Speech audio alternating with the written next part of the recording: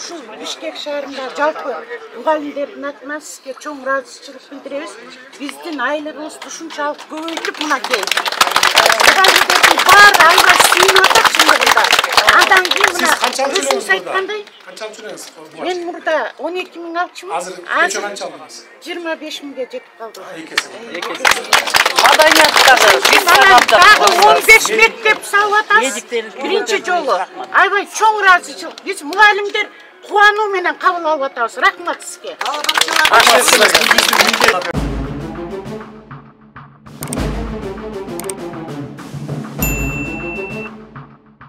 мугалимдерди қуантқан айлық соц тармактагы сүйүнүч кабар кыргызстанда социалдык жаатта эмгектенген кызматкерлердин айрыкча мугалимдер менен билим берүү системасындагылардын эмгек акысы жогорулады. Буга чейин айлык көтөрүүлөрүн финансы министри алмаз бакетаев жарыялаган болчу.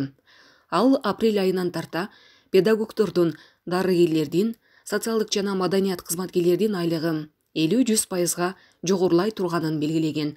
Баары биригип үч жүз тогуз миңдей адам болгон. Билим берүү тармагындагы айлык маяна сексен пайызга өсөт. Эгер жаңы модель менен эсептей турган болсок окууну жаңы бүтүп келген стажы жок мугалимдер колуна жыйырма жыйырма бир миң сом алышат. Учурда бул сумма төрт жети миң сомду түзүүдө деп билдирген бакетаев ошол кезде.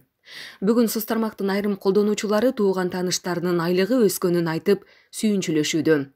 Ош облусуна караштуу талдык айылында иштеген мугалим спутник агенттигинин кабарчысына мурда жыйырма эки жыйырма сом алып келсе эми маяна катары кырк сегиз миң сом түшкөнүн билдирди.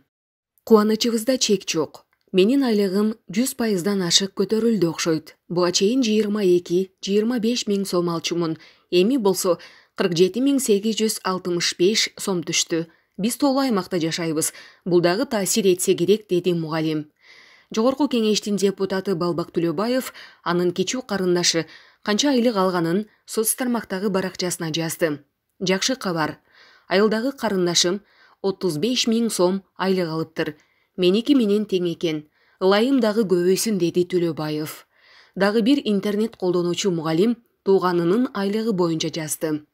Айылда мугалим болуп иштеген бөлөм он төрт миң сом айлык алчу эле. Эми колуна жыйырма алты миң беш жүз сом нак тийиптир деди атай бейшенбек ал эми назгүл насиева социалдык жаатта эмгектенип келген тааныштарынын кубанычы менен бөлүштү.